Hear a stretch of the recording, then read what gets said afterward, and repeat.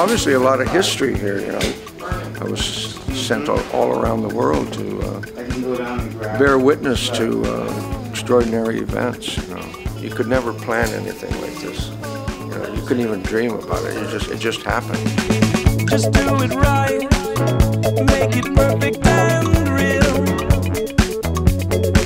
Because it's everything. Cecilia, Edna Marie, John Carter's still in the valley. He'll probably be there. Bernilda, I hope, comes from uh, from uh, L.A. Harold Brazil, Gordy, Joe Medlock, Mendoza from San Diego. I've never been afraid to, to do something different, and that that's that's where Calexico comes in. We had adventures every day. We would meet in Merle's porch, and then we would plan our adventures for the day. When you come from such a small town, so very small, uh, opportunities don't seem uh, readily available. I hope there's going to be some, some someone that's inspired to uh, primarily to follow your dreams. I mean, that's the thing.